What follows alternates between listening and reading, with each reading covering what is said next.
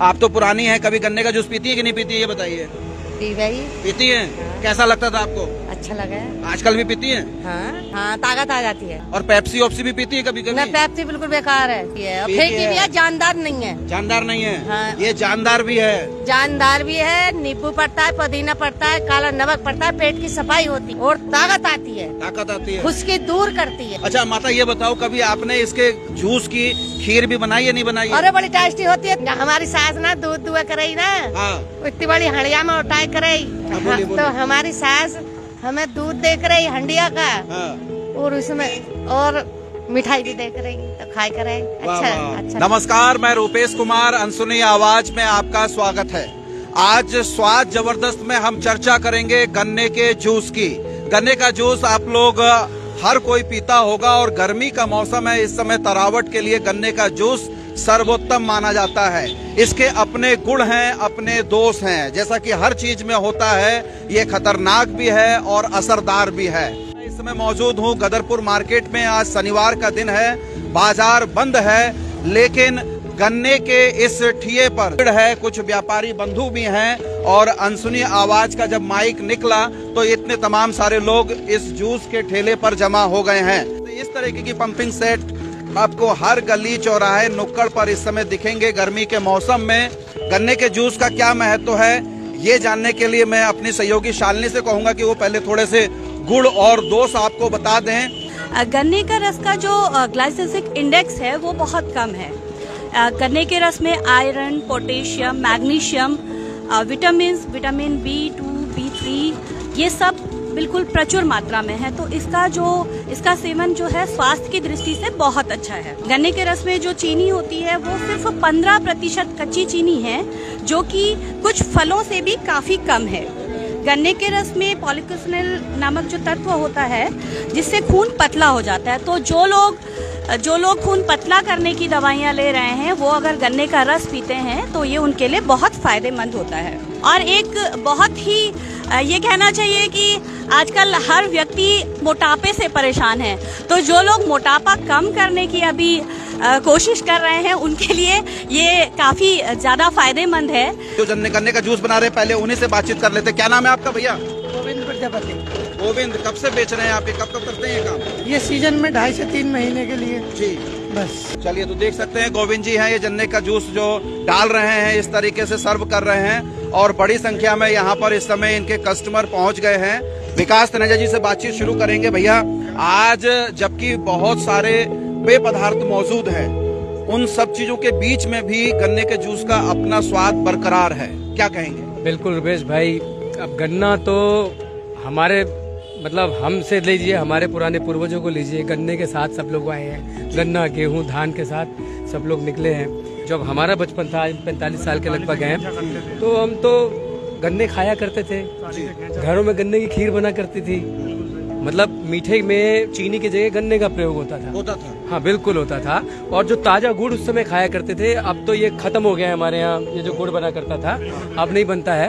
तो वहाँ पे जाके ताज़ा गुड़ भी गन्ने का बना के हम वहाँ पे गरम गरम गुड़ को खाया करते और निश्चित तौर पर गदरपुर में तो शुगर मिल भी थी। त्रिपाठी जी आपको पूर्वांचल में तो गन्ने की खीर का बहुत गहरा रिश्ता है।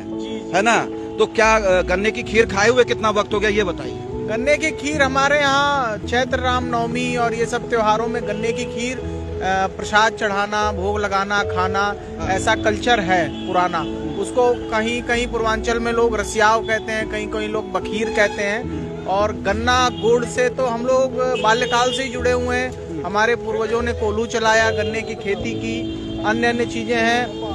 गन्ने को अगर हम स्वास्थ्य के दृष्टिकोण से देखें रुपेश जी जी तो इसमें बहुत लाभ है हाँ। पीलिया के लिए लीवर के लिए डिहाइड्रेशन के लिए गर्मी से बचाव के लिए गन्ना बहुत ही स्वास्थ्यकर और लाभदायक का सबसे महत्वपूर्ण साधन है बिल्कुल गन्ना। बिल्कुल बिल्कुल है ना गन्नी गर्मी में अगर नियमित रूप से हम गन्ने का सेवन करते हैं हाँ। तो एक तरीके से हमें डिहाइड्रेशन नहीं हो सकता कोई गर्मी नहीं लग सकती लू नहीं लग सकती। और इम्यूनिटी पावर बहुत ज़्यादा बढ़ जाती है। इम्यून बढ़ता है। जी मैं अपनी सहयोगी शालिनी से कहना चाहूँगा कि चारों तरफ़ का दृश्य दिखा दीजिए। और मैं सभी से निवेदन करना चाहूँगा कि अनसुनी आवाज़ के फेसबुक पेज को आप तत्काल फॉलो कीजिए। आप हमको यूट्यूब पे भी सब्सक्राइब कर सकते हैं और इस रिपोर्ट पर अपनी राय ज़रूर साझा कीजिए क्योंकि आमतौर पर गन्ने का जूस ये खबर नहीं बन सकती। और मेरे सारे पत्रकार साथी जो यहाँ मौजूद हैं, वो भी बोले, आप किस पे लाइव करने आए हैं? मैंने कहा, गन्ने के जूस पर आज बात होगी, क्योंकि हर चीज़ खबर है जो जनता से जुड़ी हुई है। नए साथी लोग कुछ मौजूद हैं, आप लोग नई उम्र के लोग हैं, और आपके पास तो पीने के लिए बहुत कुछ है, अर्थात तमाम सारी कंपनियों ने बना रखा है। गन्ने का जूस भी कभी कभी पीते हैं कि नहीं? हमेशा सर पीते हैं। सर गन्ने से हमारा बहुत पुराना नाता है हाँ। आज से तीसरे साल पहले जब ये चीनी मिल गदरपुर लगी थी हाँ। तो उसमें हमारे पिताजी लोग सब लोग नौकरी हमारी लगी थी वहीं पे तो बचपन से ही हम चीनी मिल जाते रहे और गन्ना तो हमने बचपन से ही बहुत खाया है हाँ। और सर हम ये कोल्ड ड्रिंक से बेहतर जो ये कोल्ड ड्रिंक आती है पचास सौ रुपए की जो भी आती है उससे बेहतर हम गन्ने के जूस को मानते हैं। मतलब जो पचास सौ रूपए की कोल्ड ड्रिंक आती है वो बीस रूपए का गन्ने का जूस ज़्यादा काम करता है। बिल्कुल सर। जी बाजी क्या कहेंगे आप? आप क्या कहेंगे जूस के बारे में? हाँ इनका कहना बिल्कुल अच्छा है की गन्ने का जूस और पेय जलों से अच्छा रहे और इसको पीने में अच्छा भी लगता है और ये पुराने टाइम से चला आ रहा है। इससे पीने से इम्यूनिटी पावर बढ़ती और है। देसीपन भी ज़िंदा रहता हाँ। है देसीपन भी ज़िंदा रहता है। तो विकास जी बताइए कुछ कह रहे थे आप? मैं ये कह रहा हूँ कि गन्ने के रस की अच्छी अच्छी बातें बहुत हो रही हैं। हाँ। लेकिन आजकल गन्ने के रस को पीने से डर भी लगता है। हाँ। अब वो समय चला गया अब उतना हाइजीनिक नहीं रहा है सब कुछ। एक तो हमारी फ़सलों के अंदर जो है पेस्टिसाइड बहुत ज़्यादा है। जी जी। तो अब इस गन्ने के अंदर भी बहुत सारा पेस्टिसाइड पहुँच चुका है पहली चीज़। दूसरी चीज़ है कि जब हम खुले में इस जूस को पीते हैं हालाँकि ये देखो बड़ी सफ़ाई रखे हुए हैं। सफ़ाई यहाँ गोविंद भाई के यहाँ पैसे भी रहती है और धूप बत्ती भी जलाइए यहाँ बीच में रख दीजिए ना। लेकिन लेकिन अब क्योंकि मक्खी आ गई है हाँ। अब मक्खियों का आतंक हमारे देश में काफ़ी हो चुका है। मक्खी कीट पतंगा इस समय बहुत ज़्यादा है। तो ऐसे में जरा सी भी चूक। लेकिन विकास भाई सवाल आ, आ, आपकी अपनी बात बहुत जायज़ है लेकिन जो केमिकल हम पी रहे हैं किसी भी पेय पदार्थ के माध्यम से मैं किसी का नाम नहीं ले रहा हूँ उनसे तो कम से कम शायद ये विदेशी कंपनियों के जो पेय पदार्थ हैं कोका कोला पेप्सी हम तो नाम भी ले लेते हैं। जी, जी। विरोध करना चाहिए इनका। हाँ, इसके अलावा ये ये ये ये ये तो आपका कहते हैं टॉयलेट क्लीनर है एक तरीके के। इनसे तो टॉयलेट साफ़ किया जा सकता हाँ। है। उनसे कहीं बेहतर है। बस इसका इसमें जो मैं कहने सब सावधान रहने वाली बात कह रहा हूँ कि इसकी हाइजीन का पूरा ध्यान रखना पड़ेगा कीट पतंगों से बचना पड़ेगा वरना हैजे का चांस भी इसी से ही बन जाता है। हैजे का चांस भी बन सकता है हालाँकि बहुत साफ़ सफ़ाई यहाँ पर रखी है। गौरव भाई और इधर आ जाइए आप लोग भी बात करते हैं। और कितने रुपए का बेच रहे हैं आप गोविंद भाई ये जल्दी करने का जूस ये गन्ने का जूस का गिलास दस रुपए और बीस रुपए का दिया जाता है। दो ही दो ही रेट है दो ही रेट है।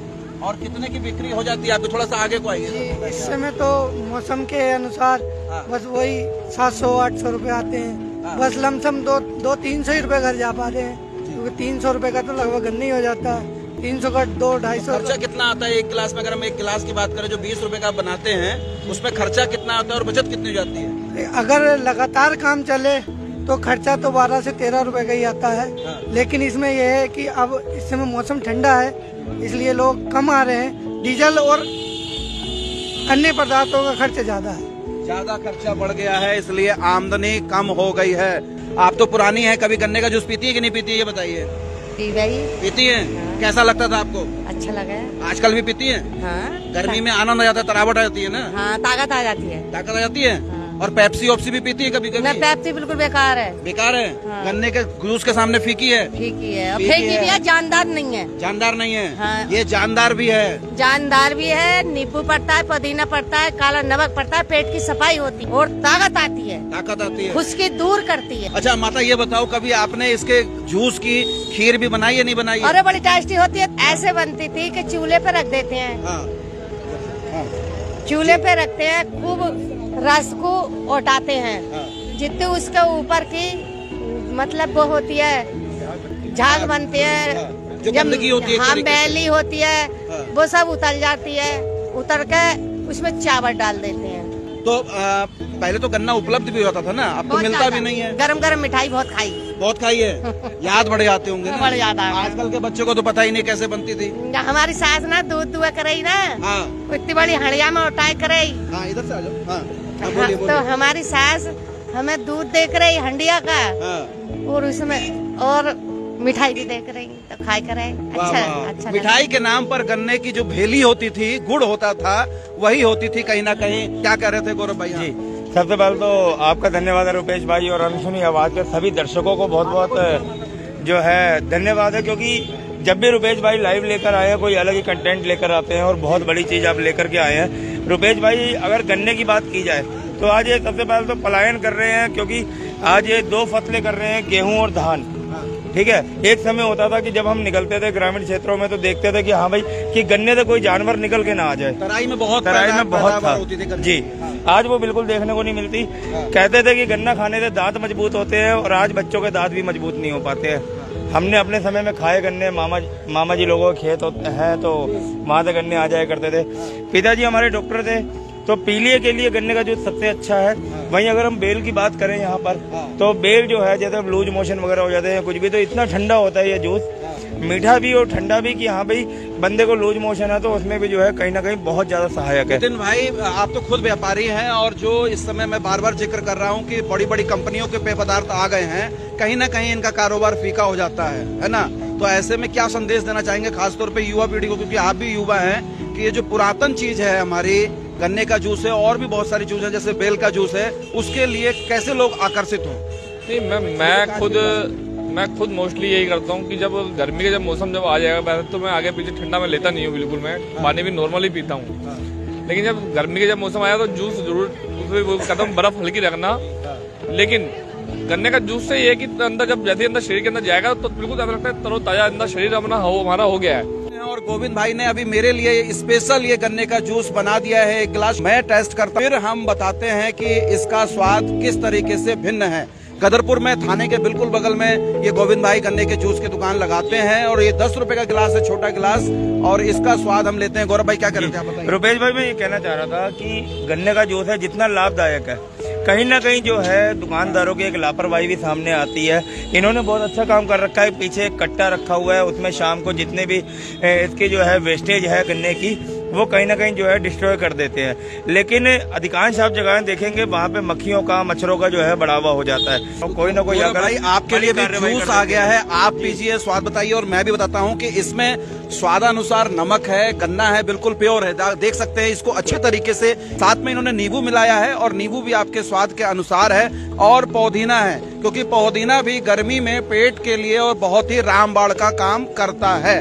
तो नमक है मसाला इसमें अपना मसाला उन्होंने तैयार किया है। इसके अलावा पौधीना और नींबू। आपको क्या स्वाद महसूस हो रहा है? बहुत ही अच्छा जो है टेस्ट है। और सबसे अच्छी बात यह है कि इसमें पुदीना साफ़ साफ़ नज़र आ रहा है कि पुदीना अच्छी मात्रा में इसमें डला हुआ है जो पेट के लिए शरीर के लिए बहुत ठंडा और बहुत अच्छा है। सावधानी अगर हम बरतेंगे तो गन्ने का जूस जो है वो रामबाण है। और जो देसी पेय पदार्थ है जिसको हम पुस्तों से, अपने उम्र से और उससे पहले बाप दादाओं के समय से भी पीते चले आ रहे हैं। ध्यान रखना है स्वास्थ्य के हिसाब से मौजूदा स्थिति में कि कैसे साफ़ सुथराई तरीके से उसको इस्तेमाल किया जाए। इस तरीके के जो पुरातन चीज़ें हैं और जो हमारे देसी अंदाज के पेय पदार्थ हैं, उनको बढ़ावा देना बहुत ज़रूरी है। बहुत बहुत शुक्रिया बहुत बहुत नमस्कार। इस रिपोर्ट को ज़रूर साझा कीजिएगा और लाइक, कमेंट हमको ज़रूर कीजिएगा।